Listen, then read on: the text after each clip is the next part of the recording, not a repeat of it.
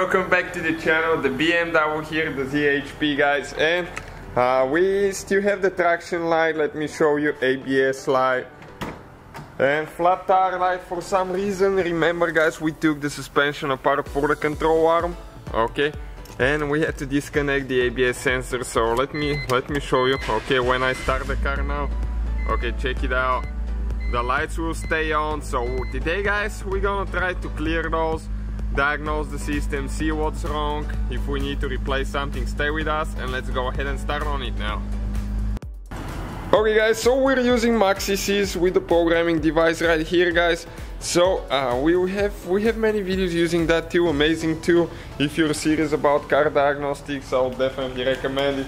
So what we're going to do, this is a wireless device, we'll just connect it inside and uh, this one you can have it anywhere in the shop Okay, so let's go ahead. Open the door, find the OBD code. Okay. And connect it. You're going to see two green lights when it's ready. Okay. I'm sorry guys for the mess. It's gonna be detailed today we turn the key on, close the door, okay, just like that. And now what we're going to do, we'll go to diagnostics right here, okay. We'll check the VIN number, see if it can auto-detect that. So it tells us what kind of vehicle it is on its own, so we don't spend any any time, you know, wasting time trying to find it, especially being okay. We will have to because some uh, some American ones you have to find them by hand. BMWs that are assembled for the American market. Okay BMW here. So now we need to locate E46 okay manual selection. If we enter the VIN number by hand it's going to do it. Okay E46 this one is a 330 CI so let's take the time. 330 CI convertible right here. Okay USA left hand drive. Okay there. So we need to find let me go find the date on the door. We need to see when it's made.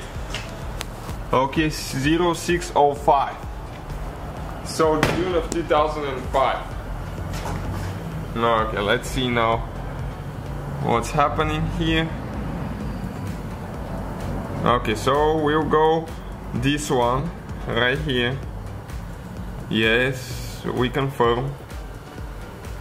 Okay we are almost there. And we just wait for it to connect now. It's gonna take a little bit of time. You can see battery voltage is 11.1 volts uh, which is low okay. Uh, we will need to charge the battery because we just driving in and out of the shop now. Okay diagnosis let's go here. Control unit. And we're going to go to chassis ABS and traction control module. Let's see guys what kind of damage we have now. Okay almost there. Hopefully it's nothing serious. We we have a parts car but Okay, let's read the code. I'm working on it now. Okay, not present, not present. Stingo steering angle sensor is the only present code that will cause our problem now. You can see those are not present, which means that the uh, you can see that it lost communication with the steering angle sensor. So we're going to go ahead and reset those, okay, and check out what's gonna happen next. Okay guys, so we are going to exit this menu and we are gonna go to erase codes. Yes. Okay, let's see. Codes have been successfully erased. Okay. Okay, let's read the codes and see if we have anything present now. Okay, steering angle sensor. That's the one that causes our problem. So most likely it's either a bad sensor or we'll need to calibrate the steering angle sensor. Let's check it out now and see what we need to do next. So next guys we're gonna go to service right here and after that we'll select chassis again okay ABS DSC So now we need to go to find the sensors and we need to calibrate those. So let's see how that's gonna work. Hopefully that's gonna fix our problem and we don't need to replace anything. Adjustment sensors right here.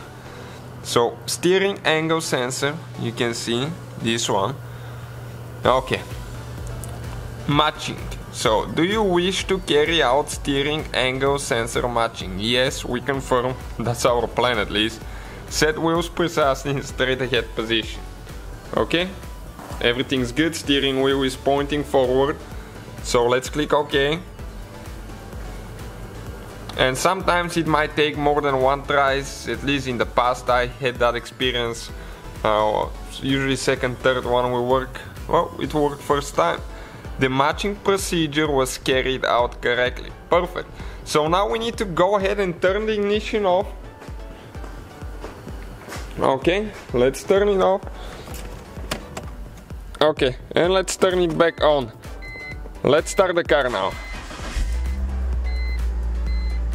No ABS lights. You can see guys no traction control light so that fixed our problem guys thank you for watching. Please subscribe give us a like and let's grow that channel together. See you guys next time